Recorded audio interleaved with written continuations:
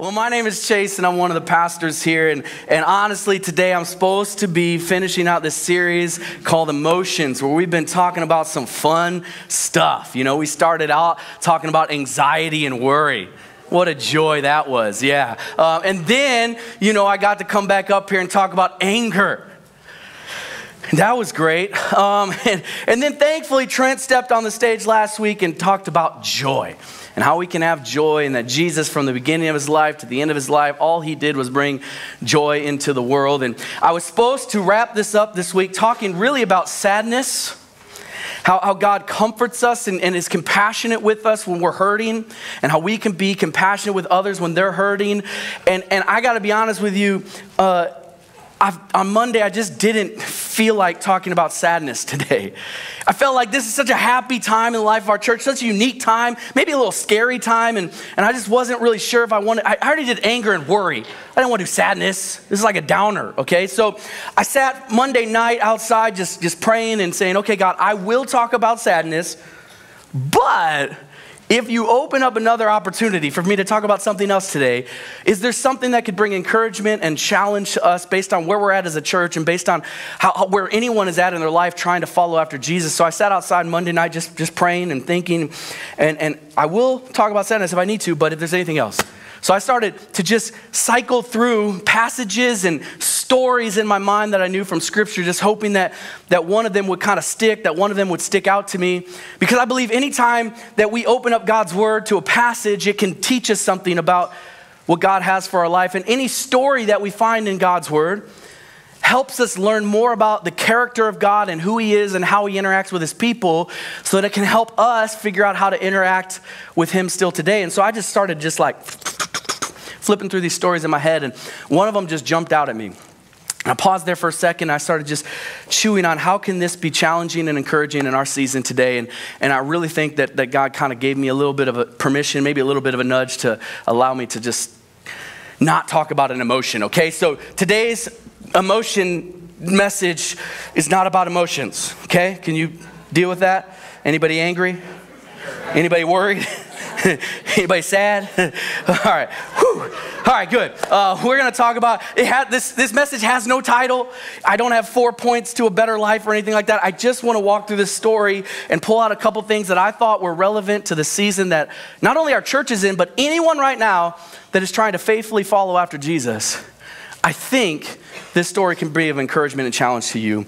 Uh, it was to me as I started to unpack it today. So, interesting enough, the story I want to talk about kind of follows up where Trent left off last week. Trent talked about the Israelites parting the Red Sea, right? That God parted the Red Sea, they walked through the Red Sea, and, and then they went into the wilderness. And we're going to kind of pick up what happened about 40 years later. But there was this time period post the Red Sea, pre promised land. God led them out of Egypt to take them to the promised land. But it took them 40 years of wandering and waiting in the wilderness for God to mold them and shape them and prune them into the people that He wanted them to be. God had to get some of the Egypt out of them to get them into the promised land. God didn't want them to bring some of the ways they had learned over 400 years that were not godly and not good and not holy and not righteous. He had to, to get rid of some of that and shape them and mold them into the person that He was calling them and creating them and wanting them to be so that the whole world could benefit. The, the waiting and wandering in the wilderness was a wonderful time. Although, I doubt they felt that.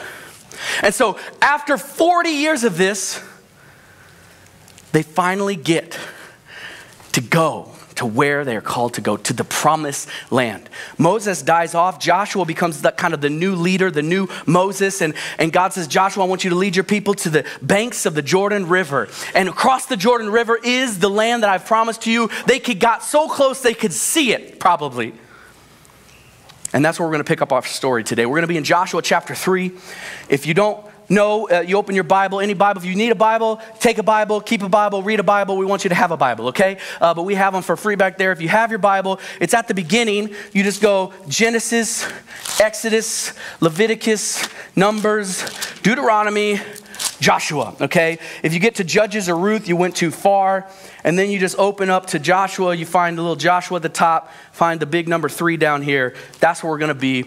Again, I just want to read a story to you pull out some things that I think were challenging and encouraging to me that I think will be challenging and encouraging in your walk with Jesus. Uh, here we go. It says, Early the next morning that Joshua uh, and all the Israelites left Acacia Grove and arrived at the banks of the Jordan River, where they camped before crossing. Three days later, the Israelite officers went through the camp giving these instructions to the people. When you see the Levitical priests carrying the ark of the covenant of the Lord your God, move from your position and follow them. Since you have never traveled this way before, they will guide you. Since you've never gone this way, since you don't know where you're going, make sure that you follow them, for they will guide you. 40 years in the wilderness. It's finally time. He leads them to the banks of the Jordan River. They're so close they can smell it. It's like it's right there. And then he says, For three days, you need to wait. That's funny, isn't it? It's always interesting how God's timings works when it's not in your life, right? It's always like, man, that's cool. I'm glad how God works out that way with you. That they got 40 years of waiting and then they had to wait three more days. I don't exactly know why why they had to wait three more days. But as I started chewing on this and just thinking, sometimes when we have to wait on God, there's purpose in the waiting. Sometimes when we're waiting on God, there's a reason for the waiting. Just because God delays something does not mean that He's denying that from you. Now, sometimes God says no. You pray for something, God says no. His answer is no. But sometimes His answer is not yet hey, let's go to the promised land. But wait three more days.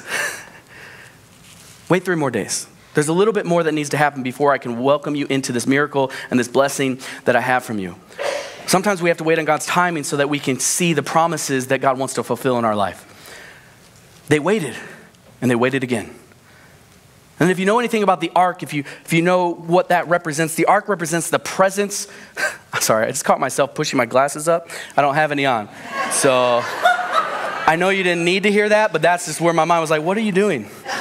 so if you see it again, I apologize. It's like Phantom. I was like, you know, if you have glasses in context, you know how that feels, right? I'm not the only one? All right. anyway, uh, ark. We were at the ark. I'm sorry. Just, uh, we're at the ark. The ark was this wooden box that was covered in gold. That was this holy box that represented the, the physical presence of God.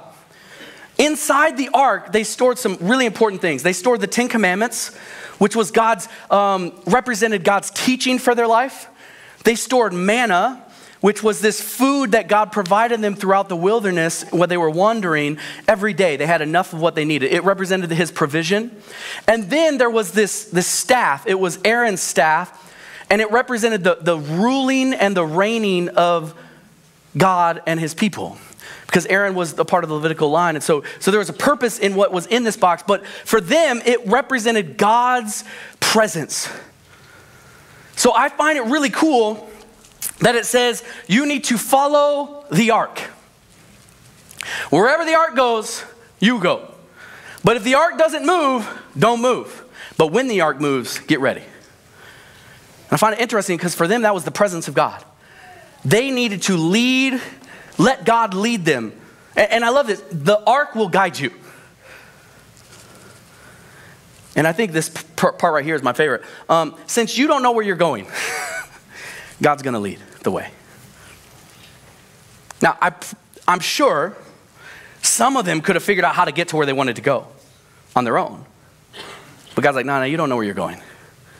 Let me lead the way. I think this is a powerful thing for our own life that we need to make sure that we recognize that in the waiting there is purpose.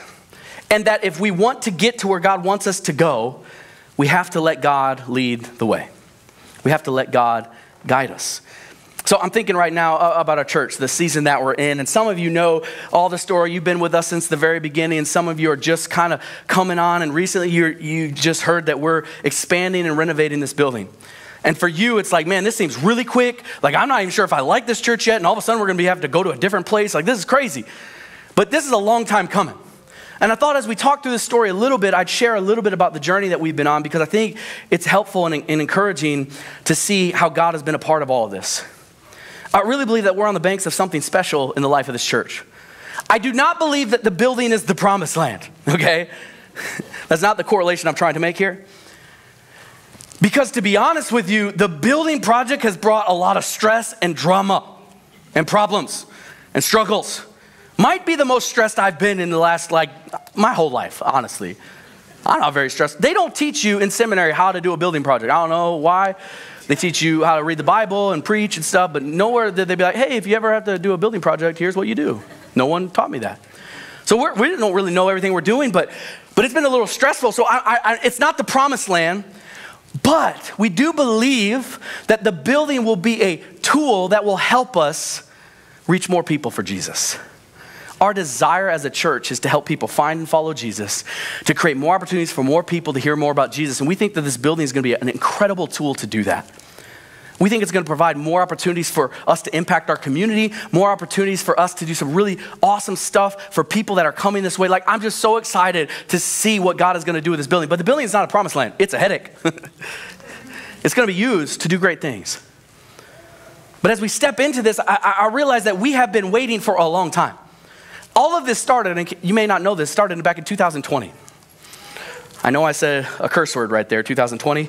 Um, but it all started back then. 2020, early 2020, we started to see God was moving and growing, and, and we were on the brinks of not having enough space for just two services. We were thinking about maybe a third service potentially that fall. So we're like, it's about time to start thinking about what is next. And so early in 2020, I began to become an architect. I don't know if you knew the skill that I had, but I began to draw on my whiteboard multiple renditions of what I thought would be a good building expansion because we needed to start thinking about this. And so here's the first one. I think maybe one of the first ones I ever drew, and there's multiples of these, but this is me uh, working way too hard to do something that mattered very little, uh, to try and just think through what could this look like, what could this be like. In early 2020, we started doing that, and, we got to the point where we're like, hey, we should probably get someone, not me, to maybe draw something up.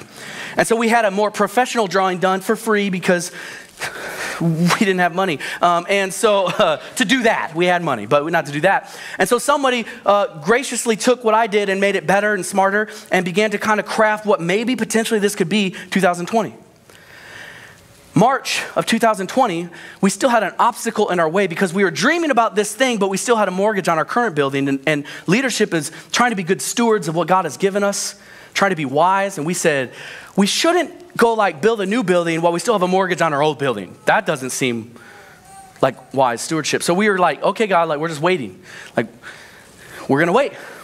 We know that we need to move, but we're gonna wait. And March of 2020, um, on a Monday, Someone interrupted a meeting I was having with Pastor Trent, and they said, I think you'll be okay with this interruption. And we were handed a check that finished off our mortgage in that moment. God showed up, and He showed off, and we were like, wait, Trent, you know what this means? We don't have that obstacle standing in our way anymore. We're fine. We can start doing this. 2020 is going to be the greatest year ever. Yeah. it's going to be awesome. That was on a Monday. On Thursday, the world shut down. That is not a joke. That week, guys. That week. And there's some other crazy things that were happening that week, but, but I'm telling you, I'm telling you, there was, there was God's hand all over this thing from the very beginning. And all of a sudden, we entered what I will call, for today's sermon, the waiting and wandering period of 2020, 21, 22. But even in that waiting, when we were like, what just happened? We were about to like start dreaming of breaking ground, and all of a sudden we're like, will people ever come back to church? But in that waiting period, we saw God move multiple, multiple times, still showing that, hey, hey, hey, my timing's not exactly your timing. I'm gonna work this out for the good of those that love me and are called, but it's gonna take some time. It's gonna look different. But even in that time period, we were able to see God's hand over and over again continue to show us that we were headed in the right direction. But we had to slow down, we had to wait.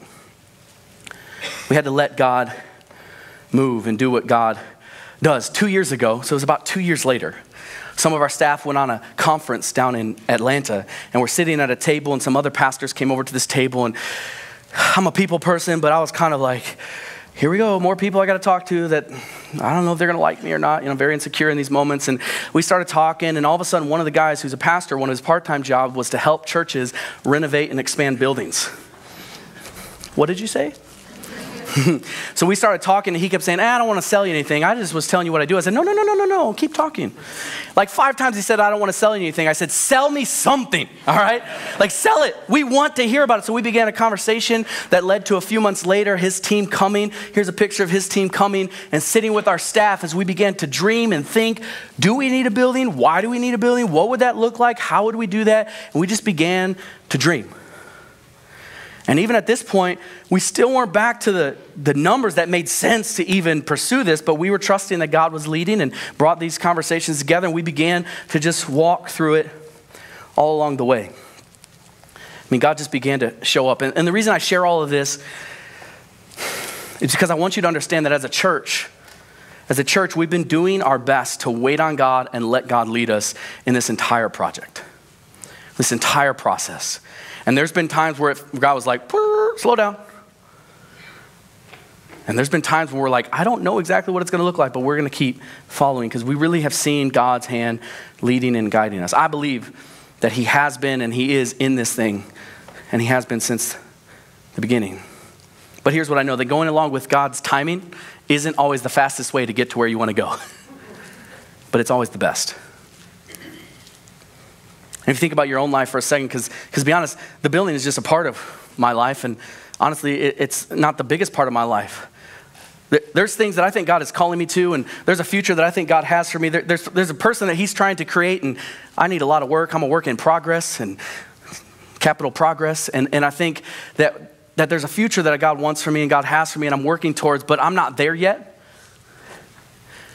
And I think the same is true for you. I think God has a plan and a purpose and, and purpose for your life. And He has a He wants to create you into the person that He created you to be. And maybe you're just not there yet. And so as we think about our own life and how we faithfully follow after what God has called us and wants for our life, maybe you feel like you're in a waiting period, a wandering period.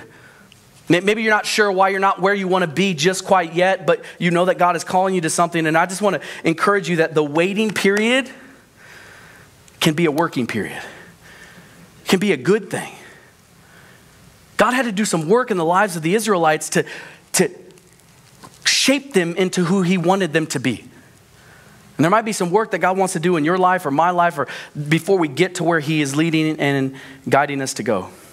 Because sometimes we're not ready for the future God has for us. Sometimes we need to make sure that we're actually following God and not really our own way and just saying, oh, God's in this. And that takes time. Trying to let God lead and guide in everything is not easy.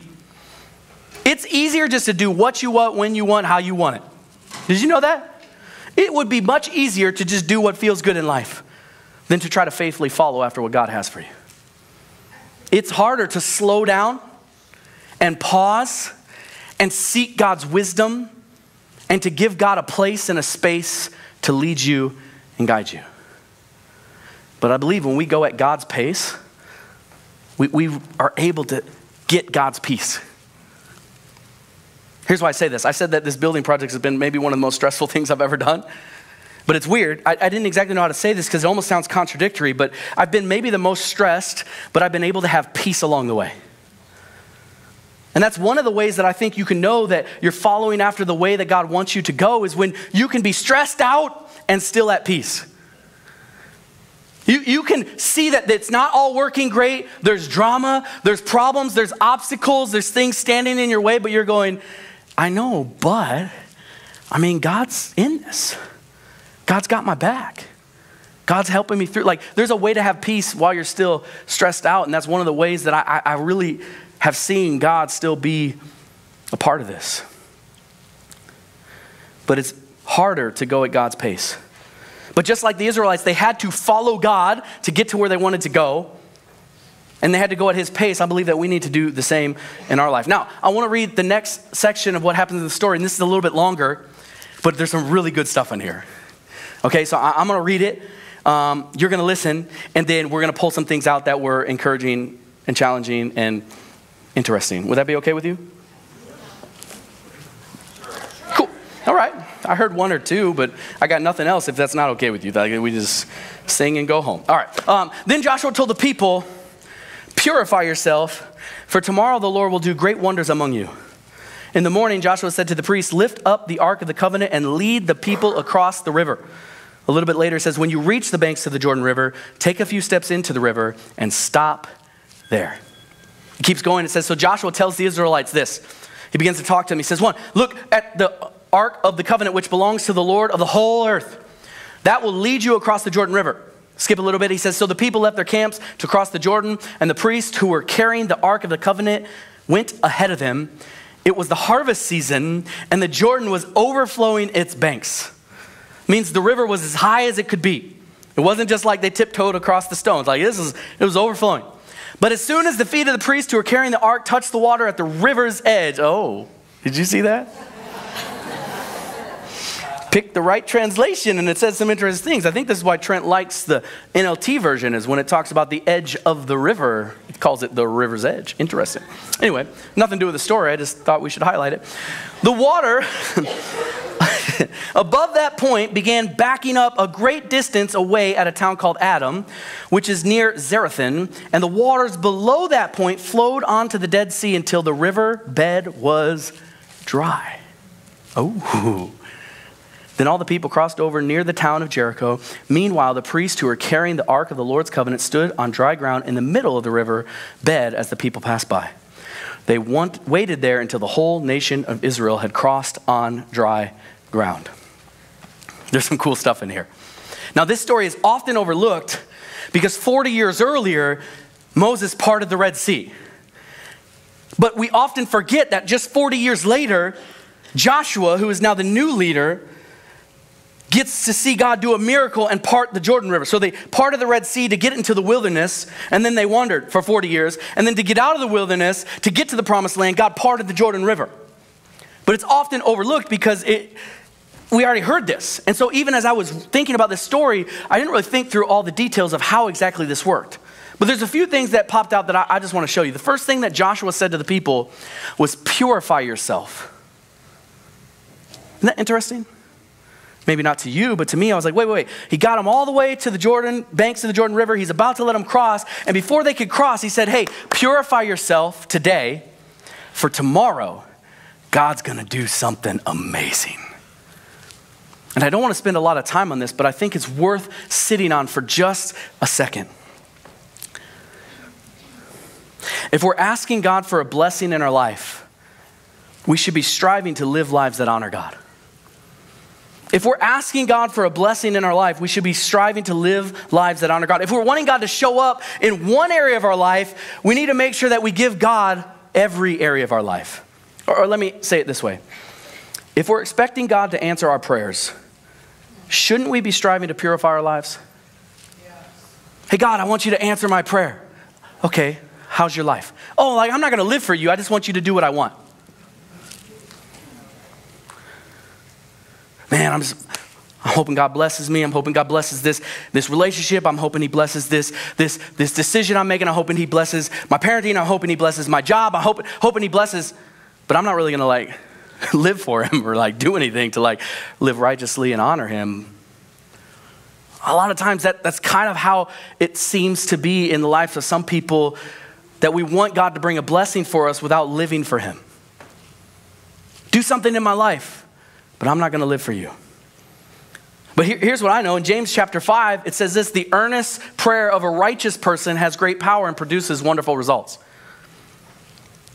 Of a righteous person. The earnest prayer produces powerful and wonderful results. Now, I'm not saying that if God hasn't answered your prayer right now, that means you're not righteous enough. I am not saying that. I'm just saying that the earnest prayer of a righteous person has great power.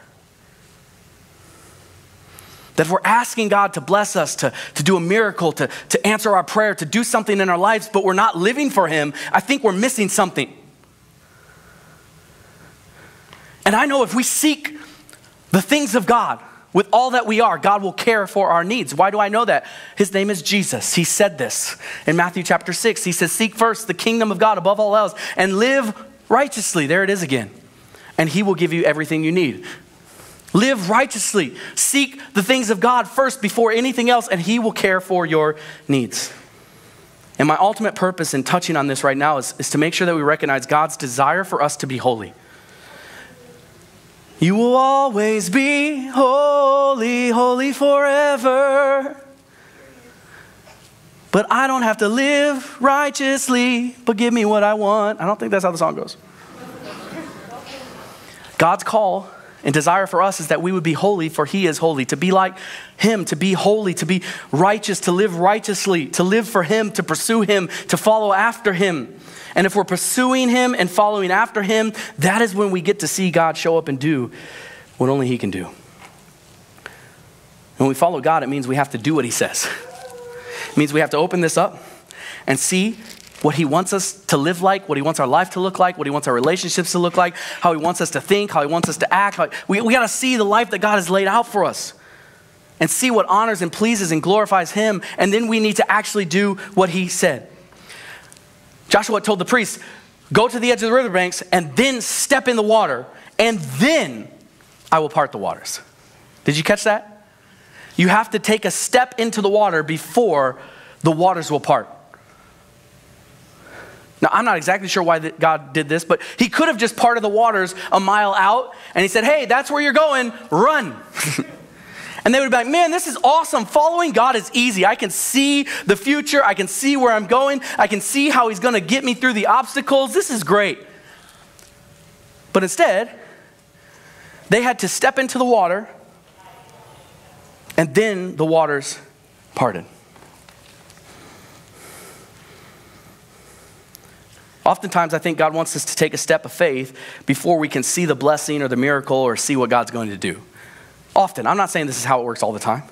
Sometimes God just blesses you because God is good. We don't deserve any of his blessings, but oftentimes he wants us to take a step. Peter, he got to walk on water, but what did he have to do first? He had to get out of the boat, right? He can't walk on water if he's still in the boat. His feet had to get wet before he got to see this incredible miracle and witness a great, great thing. He had to step out of the boat, and I think there's something to be said about the fact that they stepped in the water and then this happened. Now, we're almost done. One of my two favorite parts of the story is right here. A part that I didn't see before because I was so used to the Moses parting the Red Sea that I never really thought about how the Jordan was parted by God. But the detail mattered to me. Here's my, one of my favorite lines from this whole thing. Meanwhile, the priests who were carrying the ark of the Lord's covenant stood on dry ground in the middle of the riverbed as the people passed by. Now, when Moses parted the Red Sea, well, God did it through Moses, he lifted his staff, the waters parted, everybody walked through, he turned around and closed the water, okay? But for some reason, I just think this is interesting. When they crossed the Jordan River, as soon as the ark, which represents the what? Presence of God, as soon as God stepped into the water, the waters parted. And as long as God was in the middle, the waters remained at bay. And everyone was able to pass through on dry ground. And it just got me thinking, just a little bit. As long as God was in it, God was providing and protecting. As long as God was in this thing they were doing, God was taking care of them. And I started thinking about my own life that as long as God is in this thing that I'm doing. If God's in it, I want to be a part of it. And if God is leading you and guiding you and, and you're headed that way, then God's going to care for you. It's not going to be perfect, but He's going to provide and protect. It's not going to be free of stress or obstacles or drama. But if God is in it, you cannot fail. If God is in it, you cannot fail. Years ago, uh, uh, it was like maybe eight years ago, just before I moved here, um, I was talking with a friend of mine back in South Dakota, and, and I, w- just be honest with you, I was afraid I was going to fail. Anybody ever been afraid to fail? Okay, good. I felt alone for just a second there. I thought I failed that question, okay? I was afraid to fail. That, that to be honest, I, I didn't know if I could lead a church. And I was kind of nervous that maybe I would lead this thing into the ground, that maybe I wasn't going to be good enough, that, that maybe like the whole church would shut down or you would fire me and it would be a big fat, fat failure. That's what I thought. But this friend of mine, she said, Hey, Chase, if God is leading you, leading you, you cannot fail, even if externally it looks like you failed. I said, Could you say that one more time? Because I got to put it in my phone to remember for the rest of my life. And it just, it was just this moment that I needed. She said, Look, even if On the outside, it looks like you failed. If you took this step because God was leading you and God was in it, it's not possible to fail if you're following God. So I could have moved here and the church could have shut down. And I would have been like, I didn't fail. Thankfully, that didn't happen. Or you could have fired me. Thankfully, that didn't happen. But as long as, as long as God is in it, you can't fail. It's not possible to fail if God is leading you. And I started thinking about this building expansion as, as, as I started thinking about this story. And to be honest, early on, there, there was some, some nerves and some anxiety and some stress about the whole project because it costs money. And it costs lots of money. And we began to talk in terms of, of millions of dollars. And I'll be honest with you, I don't normally talk in terms of millions of dollars. Okay? I like the dollar menu at Taco Bell, all right? But once it gets past like $5, I'm like, whoa. And they've gone from dollar menu to value menu. Just I'm not going to complain about it. I'm just going to say it's no longer a dollar. Okay? Anyway, so I'm not used to talking in these terms, and that's what we learned even four years ago that this was going to cost millions. But I remember one of our lead uh, leadership team members. I remember he said this thing, and it's funny because this person is. Um, how do I say this? Uh, this person is normally very reserved and, and very good steward of how we handle God's money. And so to hear this person say what I'm going to say was, was surprised me a little bit. But he said this four years ago, before we had any idea what we were doing. He said, If God is in it, the cost doesn't matter. If God is in it, now, that doesn't mean we can spend as much as we want to be crazy, but he's saying if God is in it, he's going to provide. He's going to lead us and he's going to guide us and he's going to help us overcome whatever obstacle comes that way. If we're doing this for ourselves, it, it might fail. It probably will fail. But if God's in it, we can't fail. And we have seen God over and over over the last few years help us and continue to help us lead us through some of these obstacles that have come our way. Over the last few years, we've raised over $3 million for this project. That doesn't make any human sense, I'll be honest with you. But God has been a part of it from the beginning, in the middle of the waiting and wondering, wondering if we would ever even open the doors again and what that was going to look like, if people would ever come back. And He was in it after that, and He's been continued to be in it. And as we brought people together in the fall to invite you to be a part of this with us, God continued to show His leading and guiding. And so I share this because I think it's important as we step into the season, meeting in a new location, and the challenges and inconveniences that will come with it, that we remember as a church that God has been in this, leading us and guiding us all along. The same is true for your own personal life. See, if God is in it and He's leading, He can provide and protect. He's got your back. If He's leading you somewhere, He'll open doors, He'll close doors. If He's calling you to something, He can protect you through it. If you're seeking after God and loving God, He will work all the things together for your good. Why do we know that? Romans tells us. It says, We know that God causes everything to work together for the good of those who love God and are called according to his purposes for them.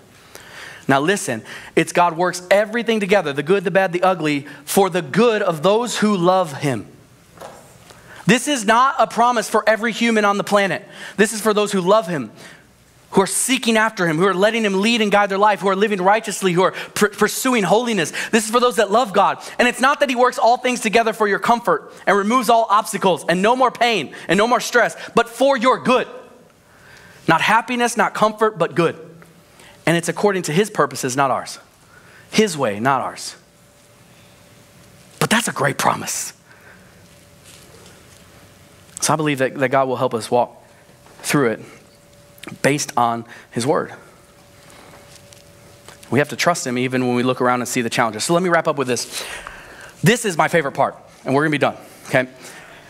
If you read the ending, the next chapter, here's what happens. It says that God told Joshua to go send some people to grab 12 stones that they had to put on their shoulders. So these are big stones, and bring them out of the water and stack them in a pile to make a memorial outside of where they're going to camp. And here's what it says happens. It says there at Gilgal that Joshua piled up the 12 stones taken from the Jordan River. Then Joshua said to the Israelites, In the future, your children will ask, What do these stones mean? Then you can tell them. This is where the Israelites crossed the Jordan on dry ground. For the Lord your God dried up the river right before their eyes, and he kept it dry until you are all across, just as he did at the Red Sea when he dried it up until we had all crossed over.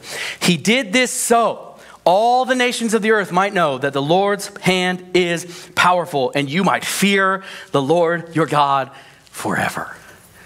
I love this part. And I would just say this that you and I need to find ways to remember God's faithfulness and goodness in our past to help us take steps in our future.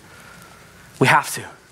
I think we need to find tangible ways to remember how good and faithful God has been in our life so that as we step into the future, we can trust Him for what's coming next. Not just for yourself, but did you see who else?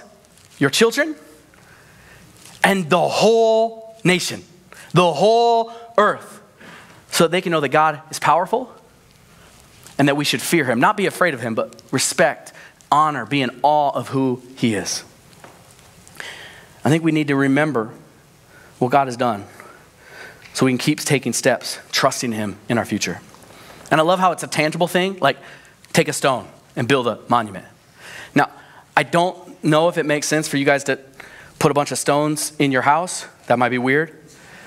But I want to encourage you to maybe, maybe find a tangible way to remember the faithfulness and goodness of God in your life so that you can keep stepping and trusting Him even when you start to see the obstacles and it doesn't make sense.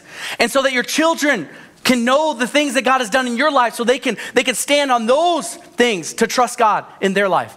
And so that everyone around you, your friends, your coworkers, your family can say, wow, what is that? And you can say, oh, let me tell you the story about how God worked in my life before. So I began to do this in my office uh, just a couple years ago trying to make sure that I would capture the moments that I felt were big moments in the life of this church or moments that I wanted to remember to see that what God has done. And so in my office, well, you won't see it now because got to tear the building down, but. Uh, but, but yesterday or two days ago, whenever I snapped this picture, I began to take pictures to see God's movement. And, and I'm not going to explain them all because I don't have time, but, but this was the very first Skype call we had when I was still in South Dakota right afterwards. You can't see how sweaty I was, but let me just tell you, I was sweaty. And uh, this was when we met Trent and some of the other team on the phone, and I had no idea what was going to happen next. But that was the beginning. And then as you just kind of walk through, there's so many things that happened over the years where God has just been good and faithful along the way. For me, this is just a, a, way that I'm remembering the faithfulness and goodness of God so that I can remember as we hit challenges and obstacles, as I try to faithfully follow after Him, I remember how good He was before. And that we can trust Him to be good again. So if I had to wrap up today, again, I didn't have a didn't have a title for the message. I still not sure what you would say this message is. Uh, so we'll let someone else name it. We'll just name it the story of that one thing in the Bible. Um, but I would wrap it up with these four sentences. It's hard to go slowly to allow God a space and a place to guide, but it's always best. If we're asking God for a blessing in our life, we should be striving to live lives that honor Him. Live for God, live righteously. If God is in it, God will provide and protect through it. Not everything will be perfect, but He will provide and protect along the way. You could say it this way if God is in it, He's got your back. And when God walks us through something, we need to remember it, not only for ourselves, but we need to share it with others. So that we can continue to spread the faithfulness and goodness and the mighty power of our God to the whole world. Let me pray. Lord, thank you uh, for your word and your truth and another opportunity to sit in a place to hear your word. And I pray that there was some challenge, but also encouragement for us as we're trying to faithfully follow after you in our own life. And I pray that there's anyone in the room today that, that wants to take steps of faith to follow after you, but they don't even have a relationship with you. I, I want them to know that you sent Jesus to die on the cross for us. And that before we can faithfully follow you, we need to take the first step of faith and believe that Jesus came and died and rose again for our sin and our salvation. And that we can be in a relationship with you that starts now and lasts forever. But it takes us inviting Jesus to be the Lord and leader of our life, believing that he came and died and rose again for us. And then we can faithfully follow you. And along the way, God, help us to remember all the ways you have provided and guided and led and shown up, been powerful, been faithful, been good. And that we would tell others about it, pass it on to our children, pass it on to our friends, and we'd live for you for the rest of our life. It's in your name we pray.